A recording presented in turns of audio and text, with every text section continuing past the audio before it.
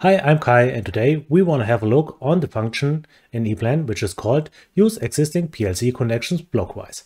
With this functionality you can handle a big amount of PLC connections like inputs, outputs and analog signals very easily. Which requirements you need to fulfill and how it works is part of this video, so stay tuned. So when we have a look here on my project you can see that I have just added a few pages so basically all of these pages are motor starter. But what I haven't done is that I select any PLC IOs here. I don't have either any PLC card in this project. So when you work functional orientated, then you most probably have all the functions on one page for a motor starter.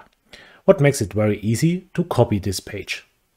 And maybe you work for different customers and sometimes use a Siemens PLC or a Allen Bradley PLC or Phoenix Contact PLC.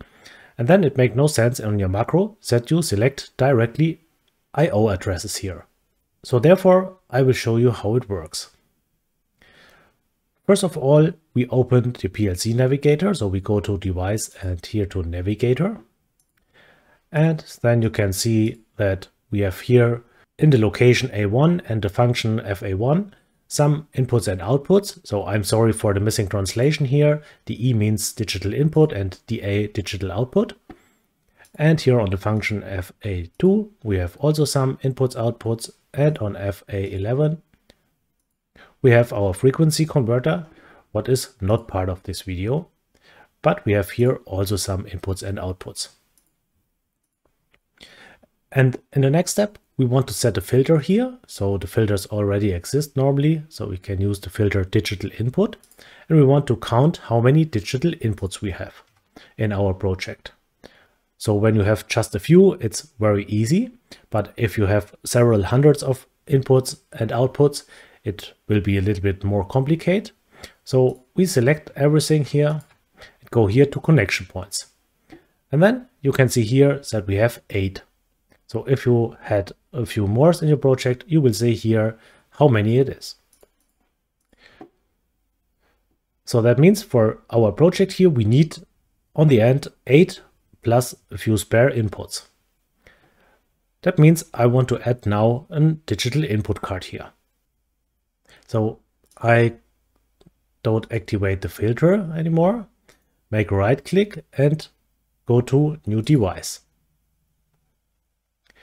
And now I jump into my parts management and can select, for example, a Siemens S7 32 digital input card.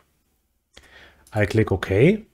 And now this card is in my navigator. So I make a double click on it. And can also change here the device tag. For example, I want to call it KF1 and I want to change the function so I call it PLC.